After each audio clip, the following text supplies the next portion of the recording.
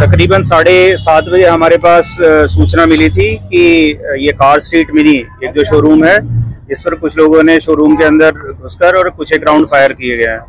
तो सूचना मिलने के बाद पे यहाँ पे जो लोकल थाने का स्टाफ है, उसके साथ साथ ऑपरेशन टीम यहाँ पर पहुँचे और अभी क्राइम टीम को भी बुलवा बुलवा लिया गया है।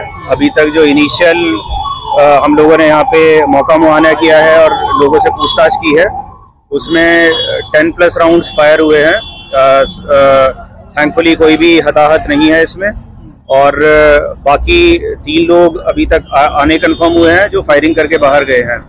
उनको ट्रेस करने के लिए और उनकी पहचान करने के लिए टीम्स का गठन कर दिया गया है। और इसके आगे जो भी फर्दर जानकारी होगी वो आप लोगों के साथ इससे पहले भी पश्चिमी दिल्ली में इसी तरह ऐसे पुरानी लग्जरी गाड़ी के शोरूम को टारगेट किया था जिसमें गैंगस्टर का भी नाम सामने आया था हिमांशु भाऊ गैंग का भी। तो क्या उसी मोडस ऑपरेंडी है सेम है ये?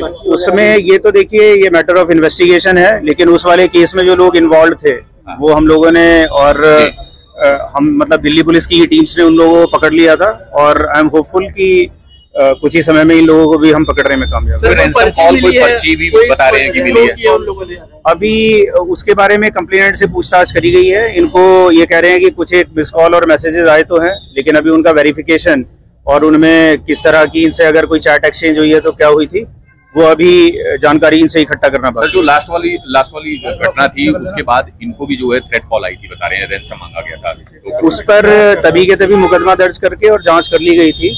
और अभी उस घटना से इसको सीधे जोड़ना that would be a part of investigation अगर उससे संबंधित पाई जाती है तो उस तरह से इन्वेस्टिगेशन को आगे बढ़ाएँगे। और अगर ये एक इंडिपेंडेंट इंसिडेंट है तो इसकी इन्वेस्टिगेशन इंडिपेंडेंट कितने बदमाश अंदर आए और कितने लोगों ने जो है उनमें से फायरिंग की? अभी तक जो कंफर्म हुआ है तीन लोग अंदर आए हैं।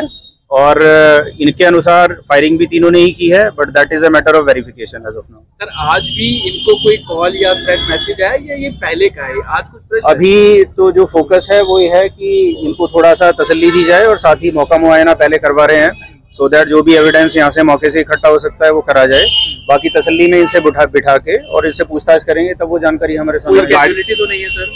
थैंकफुली अभी तक यहाँ पे को, कोई भी किसी तरह से इंजर्ड नहीं है। तो गाड़ियों को ही टारगेट करके गोली चलाई गई है? अभी ऐसा ही प्रतीत होता है but will find out the details in university thank you